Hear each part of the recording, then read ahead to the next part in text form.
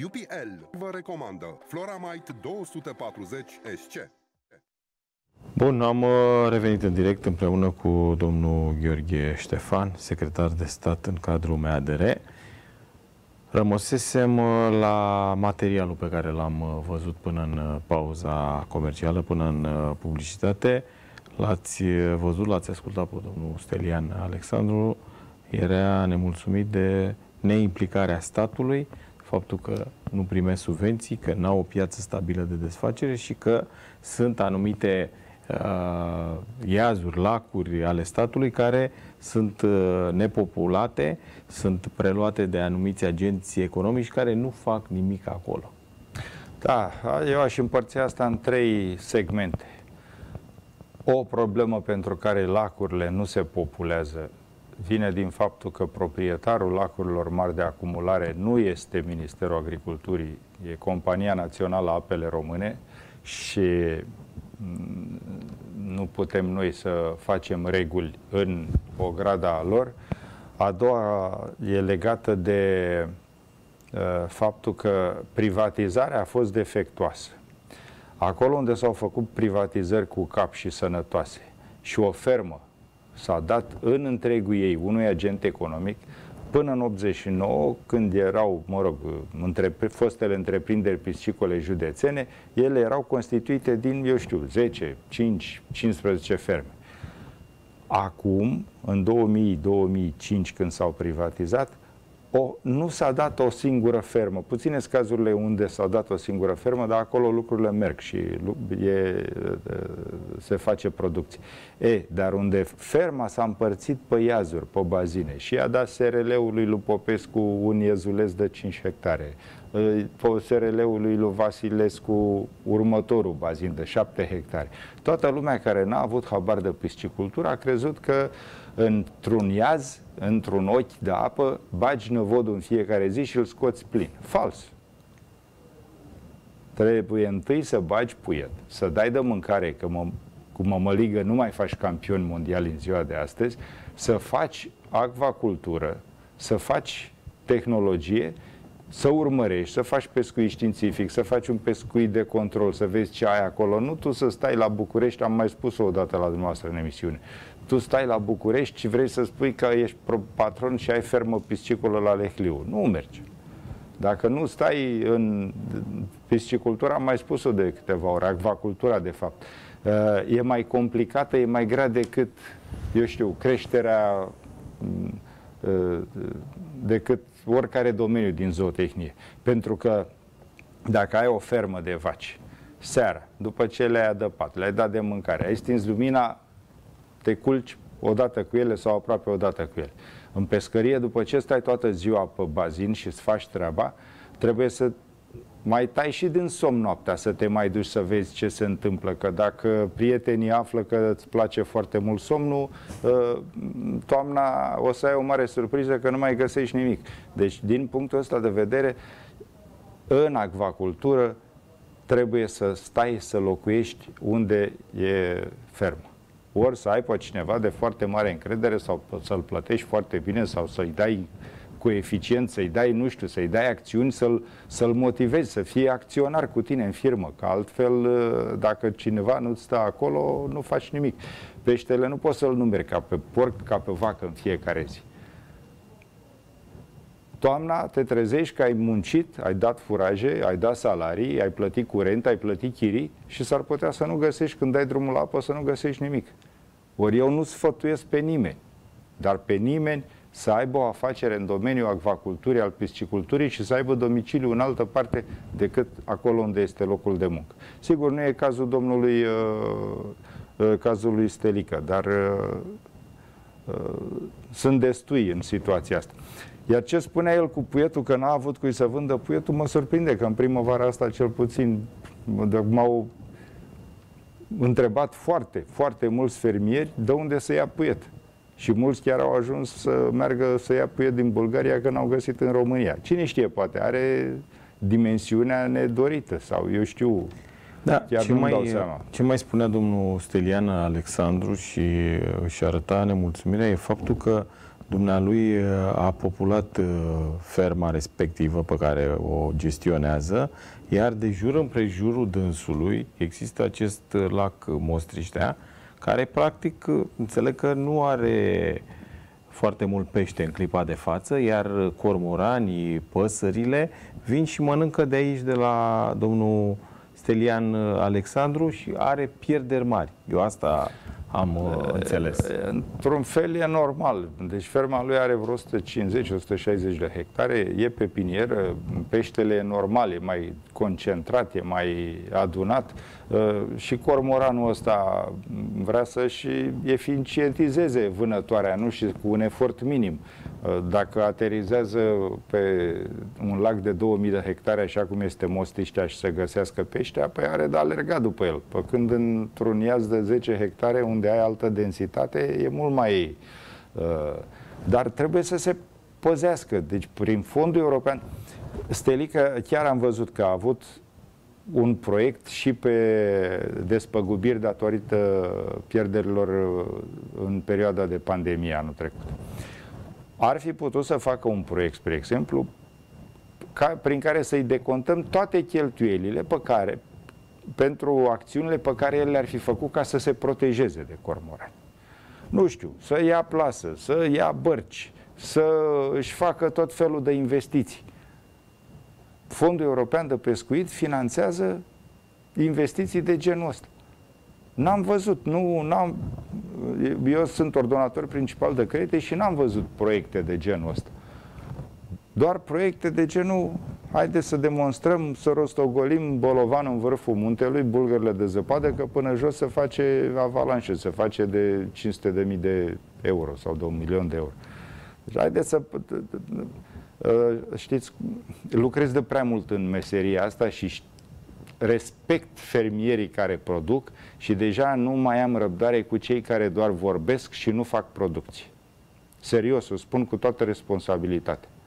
Dacă nu faci tehnologie, dacă nu înveți, nu pui mâna pe carte să citești, peștele, repet, nu e ca porcul, peștele e sub apă. Dacă nu înveți să-l interpretezi prin acțiuni de dincolo de el, să faci un pescuit de control, să-l măsori, odată la o lună jumate, la două luni de zile, l-ai luat, l-ai cântărit, trebuie să-ți faci niște calcule. Domnule, am dat atâta furaj.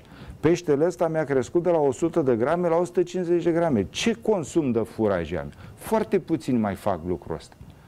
În general, în păstrăvării fac și acolo lucrurile sunt în ordine și oamenii chiar le mulțumesc și apreciez că își văd de treabă și produc pești. În ciprinicultură, foarte puțin. Sunt câteva ferme, le număr pe degetele de la o mână. Uh, în Giurgiu, Comana și uh, Bila. Ferme care împreună fac aproape 1000 de tone de crap. Oamenii ăia n-au unde să vândă. Au unde să vândă. Oamenii ăia n-au crap suficient cât uh, au să vândă. Acum toate bazinele unde se face pescuit de ăsta uh, recreativ vor să cumpere săptămânal crap pe care să-l bage ca să vândițare să aibă în weekend ce să prind. Păi ei cătă o soluție. Stelică ar putea să își aranjeze producția în așa fel încât să facă crap. Că sunt în călăraș să face pescuit sportiv peste tot. Fundulea, bălțile de la, din jurul orașului Fundulea nu au de unde să ia crap. Sunt înnebuniți în fiecare săptămână că ei cumpără câte 5-6 tone de crap ca să-l bage ca să aibă în weekendul următor ce să prindă pescari. Deci îi dau eu soluții. Trebuie să ne adaptăm economiei de piață, că da e economie de piață. De asta eu urăsc, spre exemplu, că am discutat odată Casa Unirea, înființarea Casei Unire. Mi se pare un amestec grosolan, dar grosolan al statului într-o economie de piață. Ce să caute o casă unirea care să regleze mecanismele uh, comerciale și de piață în România? Pe ce criterii? Cumpăr eu de la unul sau de la celălalt sau de la celălalt producător? Pe prietenii? Pe ce? Pe apartenență politică? Deci trebuie să elimine toate lucrurile astea și dacă nu devenim și nu suntem serioși și să fim profesioniști, nu rezistăm într-o economie de piață. România așa cel puțin e trecut în Constituție. Are economie de piață. Iar aspectele comerciale, clar că sunt uh, economie de piață. Totul se reduce la piață. În ziua de astăzi, Mi-aduc aminte, acum 25 de ani, m-am dus într-un stat în care noi credeam că e frate de-al nostru și în Chile, să importam uh, pește congelat și conserve. Și eu, în neștiința mea, acordam foarte multă atenție directorului general. Și ăsta, după ce ne-am întâlnit, îmi spune, George, am văzut că uh, mi-acorzi mie mai mare atenție, dar să știi că cel mai important om din companie nu sunt eu. El este. El este directorul de vânzări. Și într-o economie de piață trebuie să știi să vinzi și să vinzi în profit.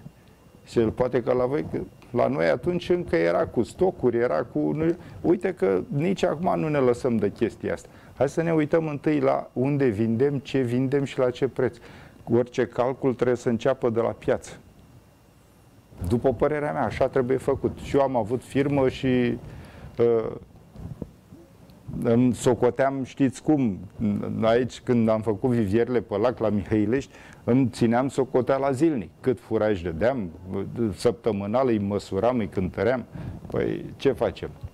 Și dacă murea un pește, făceam, mă rog, cu ghilimele de rigoare, mare scandal să văd oare de ce s-a întâmplat lucrul ăsta. Luăm 10 secunde Hai să luăm pauză. Că... Combaterea biologică este modul eficient și natural de control al dăunătorilor și bolilor din culturile dumneavoastră. Universal Group și Copert, parteneri cu natura. Bun, am uh, revenit în direct. Uh, vă întreabă domnul Răzvan uh, Rușanu vis-a-vis -vis de stațiunea de cercetare Nucet. Ce le puteți spune?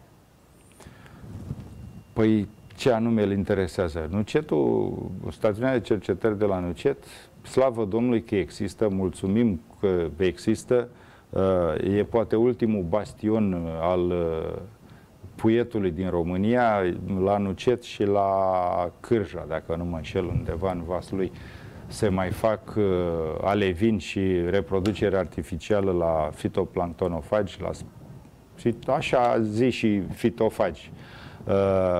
Nucetul, noi îl folosim foarte mult în toate studiile, în toate cercetările, în cotele de pescuit, în tot ceea ce facem. Uh, e o directoare inimoasă acolo care lucrează de când a terminat facultatea și s-a încăpățânat să reziste și uite că nucetul e foarte bine.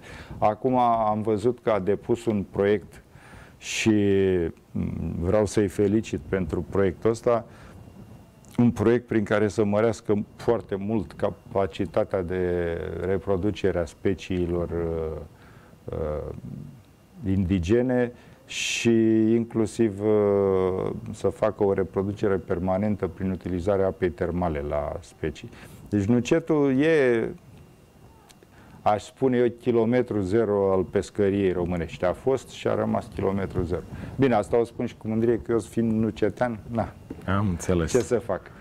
Aveți o afinitate, oricum rămâne până la urmă un punct de plecare pentru Uh, da, da, da, și uh, îi sfătuiesc pe toți acvacultorii să apeleze cu mare încredere la uh, know-how stațiunii de la Nucet. Uh, acum vreo 3 sau 4 ani chiar am făcut un centru de instruire la Nucet, tot pe fonduri europene, și cei ce vor să învețe găsesc la Nucet tot ceea ce le trebuie ca să pună în practică și să fie eficient și rentabil. Bun, o să revenim la piscicultură și acvacultură, dar am uh, primit uh, câteva întrebări vis-a-vis -vis de sistemul ăsta antigrindină. S-au creat multe polemici. Am discutat cu fermieri care uh, sunt uh, mulțumiți și grație acestui sistem antigrindină și au salvat uh, producțiile. Alții spun ei că din cauza acestui uh, sistem antigrindină au avut producții mult dismuite, mult înjumătățite. Unde e adevărul? Păi adevărul cred că nu e decât în prima parte, din ceea ce știu eu, din ce cunosc și dacă o luăm și ca procente vis-a-vis -vis de fermierii care sunt pro-antigrindină. Uh, am fost la dumneavoastră într-o emisiune cu domnul general Căunei și a explicat din punct de vedere științific ce înseamnă uh, utilizarea rachetelor antigrindină. Uh, ele n-au cum să producă sau să oprească sau să nu mai aducă ploaie. E ca și cum ai spune că un aparat de radio sau televizorul face zgomot dacă e scos din priză. Atâta timp cât racheta aia e în magazie, nu e trasă, e un focos inert, mort, care n-are, nu produce... Nu, problema pe care o pun fermierii, cei care sunt împotrivă, spun că atunci când încep să fie puse în practică, să fie declanșate aceste rachete, practic, în zona respectivă nu mai vin precipitații. Păi nu, nu mai vin precipitații sub formă de grindină, le transformă Nu, nu, nu. Că Ploi. ulterior nu mai vin. Da, nu mai sunt ploi. Nu, nu au niciun argument. Uh, Nu știu, eu am făcut în facultate meteorologie și hidrologie și uh, ar fi uh, n-are niciun fundament științific. În primul rând, norii ăștia sunt mutați de vânt și de curenți. Păi, ca să spui că nu mai vin nori și nu mai vin ploi, înseamnă că nu mai, nu mai vine nici vântul în zona aia, sau cum? Uh, Sigur, uh, sunt fermieri, pe mine în Dolj, spre exemplu la Dăbuleni, anul trecut au venit primarul de la Dolj și cu câțiva fermieri uh, care plângând oamenii că le-a devastat grindina toată cultura de pepeni. Ce înseamnă asta? Ai pierdut toți banii din anul respectiv și plus că ai pierdut un an de viață. Pentru că într-un, într-un minut grindina Corect. aia ți-a distrus tot. Adică ce preferi tu? Chiar și așa, dacă să acceptăm ce spun ceilalți, că alungă norii și să spunem că nu mai sunt precipitații abundente sau normale. Bun, dar ai precipitații mai puține, dar tot faci ceva producție. Dacă îmi dai grindină, nu mai e nimic. Nu mai e zero producție, singura variantă este să te asiguri, dar nu cred că asigurările uh, fac uh, lucrul ăsta, să te asigure împotriva grindinii. Da, aș uh, vrea să stăm de vorbă cu un uh, fermier uh, care a fost uh, afectat uh, sau, mă rog, care susține că a avut uh, probleme cu precipitațiile din cauza acestui sistem uh, antigrindină, dar până cineva va suna, noi o să continuăm să discutăm uh, aici la Agricultura la raport, uh, chiar dacă nu ăsta a fost subiectul nostru central. Dumneavoastră, în uh, fișa postului, printre alte multe atribuții, aveți și partea asta de care vă ocupați de acest uh, sistem uh, antigrindină și de asta am ținut să clarificăm, pentru că na, e bine să Acum eu știe nu știu lumea. ce să... Domnul Ghinean, uh, sistemul antigrindină a apărut inițial în jurul fermelor care au valoare ridicată, adică în jurul podgoriilor. Haideți să întrebăm orice podgorie din România dacă preferă să aibă sau nu o unitate antigrindină în jurul ei.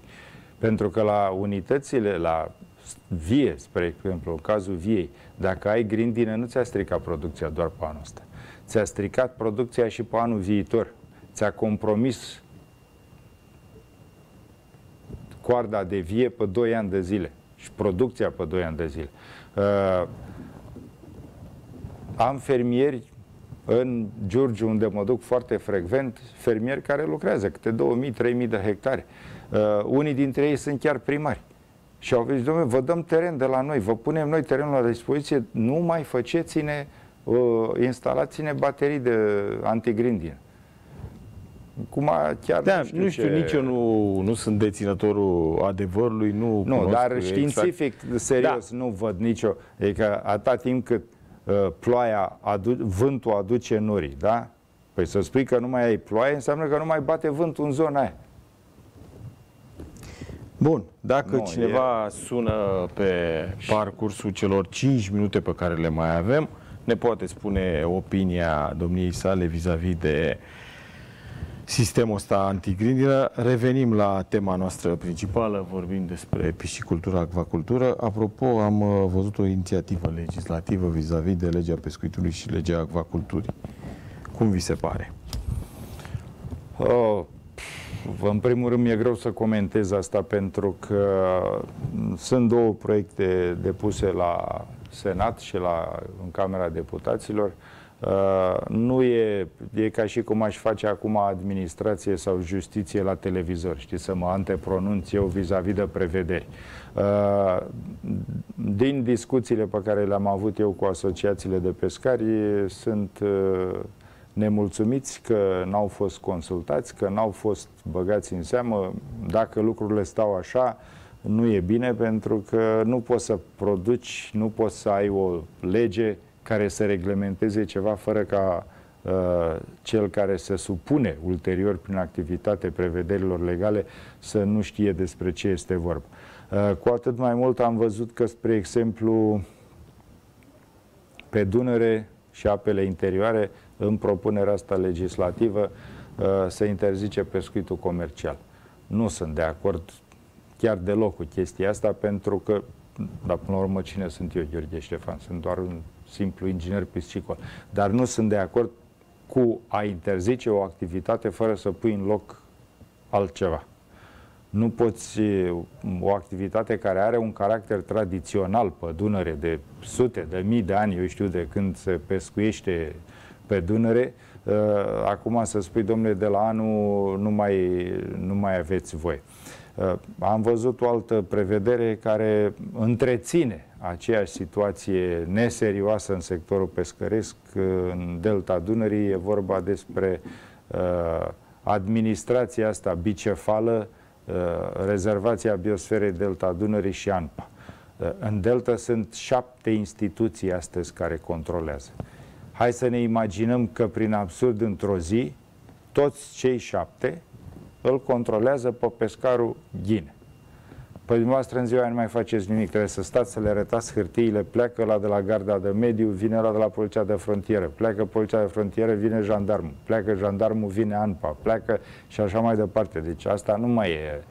Plus că nu e în regulă unul să fie administrator al resursei și celălalt sau cealaltă instituție să fie responsabil cu politica de piață. Primul dacă e producția mea.